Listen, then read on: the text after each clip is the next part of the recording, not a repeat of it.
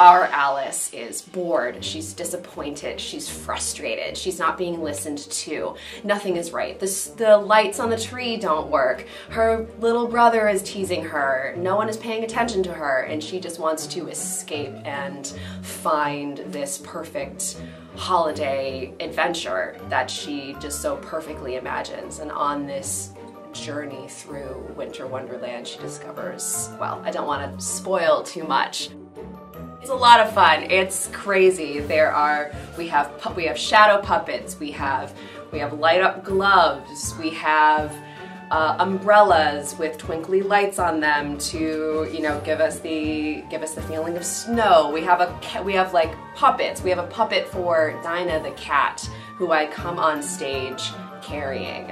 And so there's so many crazy elements. It's not just the it's not just our fellow cast members we are working with.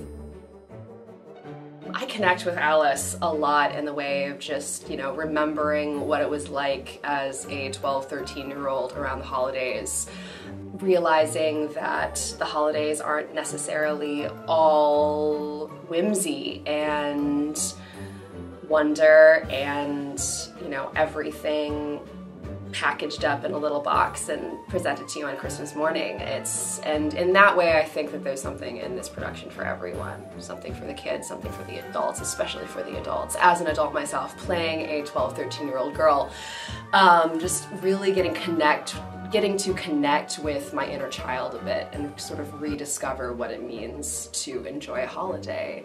Come see Alice in Winter Wonderland to be taken on an adventure of whimsy and hope and wonder.